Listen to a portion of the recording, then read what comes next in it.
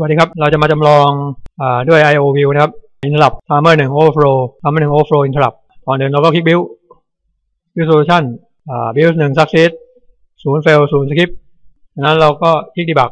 คลิก start debugger debug and break เสร็จแล้วนะครับ เราก็ไปเอา IO view มา คลิกที่ debug ที่ window แล้วก็มาที่ IO view timer 1เนี่ยก็จะมี IO view อยู่ใน IO view นะครับ เขาก็จะใช้มี port A port B นะครับ แล้วก็มี timer 0 timer 1 timer 2คลิกที่บวก timer 1ครับ คลิก prescaler source เราก็ได้มาแล้วนะครับ timer 1มาแล้วครับ register ต่างๆของ timer 1ก็จะออกมาแล้วครับ ทีนี้ผมก็จะกด F10 นะครับ อ่า ดูก่อนนะครับ F10 step over F10 กด F10 ถ้า reset ก็กด shift แล้วก็ตามด้วย F5 ครับเพื่อจะทำการ reset มันจากนั้นผมก็จะกด F10 ครับ F10 ครับ อ่า มันจะผ่านอ่า register timer control CCR 1B นะครับ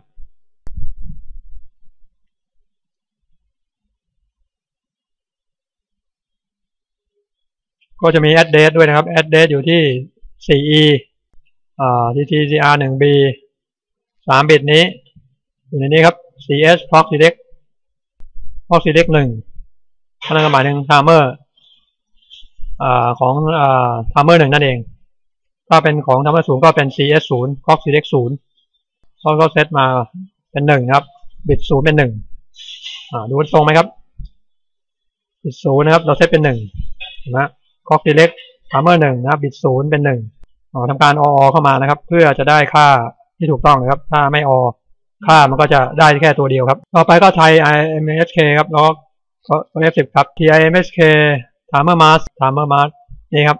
Timer Mask บิตศูนย์บิตหนึ่งบิตสอง เราเซตบิตสองให้เป็นหนึ่งครับ ก็เป็น timer หนึ่ง timer เข้าทั้งหนึ่ง overflow interrupt enable เราได้เปิด timer หนึ่ง TISK แล้วก็ copy มาครับจากนั้นเราก็ไปหาใน data sheet นะครับแล้วกด V ครับ จากนั้นก็ enter อ่า timer mask นะครับ timer mask timer สอง overflow interrupt enable timer สอง counter สองอันนี้ไม่ใช่ อ่าไม่ไม่ใช่แล้วก็กด enter ต่อครับ TIPSK นะครับ อันนี้ของ timer ศูนย์ overflow interrupt enable แล้วนั้นค่อย enter timer router 0 over interrupt enable นะครับ แล้วก็เคาะไป อันนี้ก็คือ timer mask ครับ timer 1 router นี่ครับ TOIE 1อยู่นี่อ่า timer router 1 overflow interrupt enable อยู่ที่บิต TOIE 1อยู่บิต0บิต1บิต2ถ้าเป็นดำๆนี่แสดงว่ายังไม่มีในหน้านี้นะครับอ่าให้ถ้าเป็นขาวๆก็มีในหน้านี้มีที่เขาเขียนว่าบิตบิต TOIE อยู่บิต ศูนย์บิตหนึ่งบิตสอง TOIE อยู่บิตสอง TOIE หนึ่งอยู่ใน timer mask อยู่ในครับบิตศูนย์บิตหนึ่งบิตสองถูกต้องครับจากนั้นก็กด F10 ต่อไป DDRA ครับสองห้าห้า DDRA ก็ port B ครับคลิกพอร์ต B ขึ้นมา พอผ่านบรรทัดนี้ใน DDR อ๋อ นี่มัน DDRA เดี๋ยวครับ DDRA อ่าแล้วก็คลิกพอร์ต A ขึ้นมา DDRA ครับ จะต้องเป็นหนึ่งทั้งหมดครับ ถูกต้องครับดังนั้นเข้าไว้หนึ่งครับพอร์ต B อ่าที่ port B ขึ้นมาพอร์ต B จะเป็นอะไรครับสองห้าห้าพอร์ตพอร์ตพอร์ต B ก็อยู่ตรงนี้นะครับ อันนี้ port B อันนี้ DDRB อันนี้ pin B port B ก็คือเซตค่าว่าหนึ่งหรือศูนย์แต่ละบิต ส่วน DDR ก็แปลว่านำทางให้เป็น input หรือ output ส่วนพิน B ก็คือขาของมัน ขาของไมโครคอนโทรลเลอร์ที่เป็น input output แล้วก็กดพอร์ต B อ่าโอเค การจำลองก็ดูเหมือนจะดีดังนั้นผมกด F10 มันก็จะอยู่ในพอร์ต B เพราะว่ามันจะ interrupt ก็ต่อเมื่อ 5 millisec ครับมันจะผมตั้งเวลาไว้ให้ interrupt ทุก ๆ 5 millisec เพราะฉะนั้นมันจะต้องย่ำอยู่ตรงนี้จนกว่าจะถึงค่า timer หนึ่งก็คือ 65,536 ค่า ค่าสูงสุดของมันคือ 65,535 นับครั้งที่ 65,536 ก็จะเป็นการนับเกิน เมื่อนับเกินปุ๊บมันก็จะ overflow กระโดดมาที่นี่flag เป็นหนึ่งแล้วเขาจะเขาจะยกธงว่าหนึ่งเสร็จแล้ว จากนั้นเขาก็เมื่อเราเข้ามาปุ๊บเขาก็จะยกธงลงเป็นศูนย์เพื่อให้เรากระทำการต่อไป แล้วเราก็ต้องเซตค่าตรงนี้มันให้ได้ห้า millisec เราจะดูนะครับว่ามันเราไปดูที่ timer หนึ่ง prescaler นะครับเอามาเข้าทั้งหนึ่ง prescaler คลิกเข้าไปเลยครับจากนั้นผมก็เคาะไปเรื่อยนะครับ มันขึ้นมาตรงนี้เห็นไหม TCN หนึ่ง TND หนึ่งก็คือรวมเอาสองบิตเอาสอง register นี้เข้าด้วยกัน แปดบิตบนกับแปดบิตล่างนะครับ ที่เก็บค่าของการนับของ timer อยู่นี้นะครับก็จะเขียน TCNT 1 เป็นการรวมสอง register เข้าด้วยกัน อันนี้คือ8บิตบน อันนี้คือ8บิตล่าง หรือ high byte 8บิตอันนี้คือ high byte ส่วน8บิตนี่คือ low byte เมื่อเราเคาะกด F10 ไปเรื่อยๆนะครับ กด F10 ปุ๊บมันก็จะทำการเคลื่อนไปเรื่อยๆ ค่ามันเยอะเหลือเกินครับผมก็จะทำเพิ่มมาร์ทีนี้ก็มี TIFR นะครับแฟกนะครับแฟก ผมก็จะพิมพ์คำว่า TIFR ในนี้ Enter TIFR นะครับศูนย์บิตหนึ่งบิตสองบิตสองก็คืออะไรครับบิตสองบิตสอง TOV หนึ่ง Timer Counter หนึ่ง Overflow Flag ถ้าเป็นหนึ่งก็แปลว่า นับเกินแล้วปุ๊บเขาก็จะเซตเป็นหนึ่งหมายความว่าถ้านับเกินแล้วก็จะเซตเป็นหนึ่งนั่นเองดูบิตศูนย์บิตหนึ่งบิตสองยูบิตนี้ครับ เขาจะทำใสๆขึ้นมาให้เห็นนะครับ ว่า timer หนึ่งใช้แค่สองสามสี่บิตเท่านั้นนะครับจากนั้นก็กด F10 ครับ มันก็จะขึ้นไปเรื่อยๆ ทีนี้ผมจะลองทำให้มัน overflow เลยโดยการคลิกตรงนี้ให้เป็นหนึ่งนะครับ แล้วก็ยกธงว่าเสร็จแล้ว ดูที่มันจะได้ไหมครับ ผมก็กด F5 มาที่นิวเลยครับ เพื่อจะข้ามมานี่ อะได้ครับ ได้ครับ ได้ครับจากนั้นก็กด นี่หนึ่งเป็นหกสิบสามนะครับ มันก็จะมีค่าขึ้นมา แต่พอผ่านบรรทัดนี้ยังครับ ต้องผ่านสองบรรทัดถึงจะแสดงผลที่แท้จริง เป็นหกสามหกสามสี่ศูนย์นะครับ อันนี้ก็เป็นหกสามนะครับ วิธีการนับก็คือหนึ่งอันนี้คือแปดบิตแปดบิตบนแปดแปดบิตไฮอันนี้แปดบิตโลค่าประจำหลักคือหนึ่งสองสี่แปดหกสามสองหกสี่ร้อยี่แปดเอาเฉพาะที่เป็นทึบๆหรือสีแดง ก็คือหนึ่ง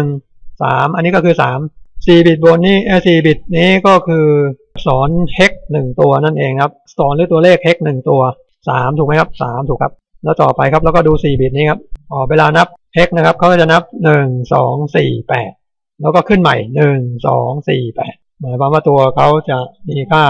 มีค่าศูนย์ถึงเก้าอักษร A ถึง F F ก็คือสิบห้าแล้วก็อ่านแล้วก็นับสี่บิตหนึ่งสองสี่แปดสองกับสี่มีค่าก็เท่ากับหกถูกต้องครับ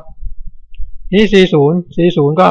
อ่าอันนี้ก็คือ4บิตนี้ก็คือไม่มีอะไรก็คือ0 4บิตนี้ก็คือ1 2 4 8 8กับ4 12 12 ก็คืออ่าเขียนเป็นอักษรเฮกก็คือ4นึ่งสองสามสี่ห้าหกเจ็ดแปเก้านะครับ10 ก็คือ A 11 ก็คือ B 12 ก็คือ C ถูกต้องครับการแสดงค่าถูกต้องพอด A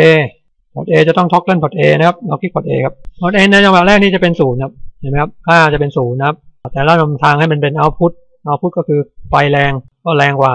input นะครับ จากนั้นก็กด F10 เป็นนะครับพอร์ต A เป็นกลับด้านไปแล้วครับ จากจากไม่ติดเป็นติดนะครับ จากนั้นผมก็กด F10 ต่อครับ มันก็จะกระโดดเข้ามาที่พอร์ต B แล้วมันก็จะย่ำย่ำอยู่ที่พอร์ต B นะครับ จนฝ่า จนฝ่าจะได้5มิลลิเซกนั่นเอง ทีนี้ผมก็จะเอา timer หนึ่งเข้ามาใหม่ timer หนึ่งอยู่นี่ prescaler คลิกขวาเข้าไปครับ prescaler จากนั้นผมก็กดดูนะครับ กด F10 ไปเรื่อยๆ ทีนี้ผมก็จะยกเปรียบเสมือนว่าเมื่อยกครบเขาจะยกธงขึ้นมานะครับแปลกนะครับ ก็คือบิตศูนย์บิตหนึ่งบิตสองนี่ครับ ผมก็จะคลิกนะครับปุ๊บอ่าเป็นนั้นว่าเสร็จเรียบร้อยจากนั้นก็กด F5 นะครับ เพื่อจะให้มันกระโดดเข้ามาที่ฟังก์ชันอ่า interrupt service routine เพื่อมาทำงานนะครับ ในการดีบักว่าเออมีมีข้อผิดพลาดอะไรบ้าง เอากดครับ สามารถเข้ามาได้ครับ ทีนี้ผมก็กด F10 ต่อครับ F5 ก็คือ continue ก็คือ run ไปเลยครับ เหมือนกับทำงานจริง แล้วก็จะมาติดอยู่ที่ break point ทีนี้มันก็เหมือนกันนะครับ มันก็โดดเข้ามาที่เดิม พอทำงานในฟังก์ชัน interrupt เสร็จปุ๊บ มันก็จะเข้ามาที่เดิม แล้วก็ทำในฟังก์ชันใบหนึ่งจนหมด ถ้าไม่มีอะไรทำมันก็จะอยู่กับที่ จนฝ่าจะได้5มิลลิเซกมันก็จะยกธงขึ้นอีกครั้งหนึ่ง TIFR จริงๆ มันต้องต้องนับถึงหกห้าห้าสามห้าแล้วก็อีกครั้งหนึ่งนะครับหกห้าห้าสามหกก็จะโอเวอร์โฟลนะครับยกธงขึ้นหนึ่งก็จะกระโดดเข้ามาในนี้ ผมก็จะทำใหม่ครับเพราะ F10 นะครับจากนั้นก็กด flag นะครับ flag คือคือ flag ก็แปลว่าธงครับ ยกธงขึ้นแปลว่าเสร็จละมันจะยกธงขึ้นแล้วนะครับปุ๊บหลังจากยกธงขึ้น คราวนี้ผมไม่กด F5 แล้วนะครับ F5 คนนี้นี่ผมต้องลองกด F10 ดู F10 ก็คือแปลว่าเป็นไปทีละบรรทัดนะครับ กดลอง F10 ดูครับ F10 ครับ ด F10 ครับหลังจากกด F10 ปรากฏว่าไม่เข้านะครับเพราะสรุปแล้วคือกด F10 ไม่เข้านั่นเองครับ เรายังแฟลกอยู่นะครับ ผมลองกด F5 ครับว่าจะเข้าได้ไหมครับ F5 อ่าเข้าได้ครับการทำงานก็จะเราก็จะจำลองอย่างนี้นะครับ ในการดูข้อผิดพลาดอ่าระหว่างแล้วก็ดูลิเจอร์ต่างๆที่เซตนะครับว่าถูกต้องหรือไม่เทียบกับ Data Sheet ก็ถือว่าการจำลองตรงนี้ก็ถือว่าสุดยอดครับสำหรับตัวนี้ก็แค่หนึ่งก่อนครับสวัสดีครับ